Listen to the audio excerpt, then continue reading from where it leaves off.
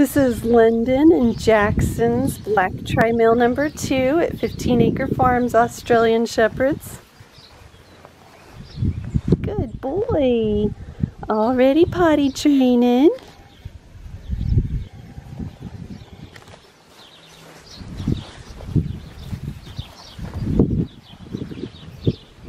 Good job.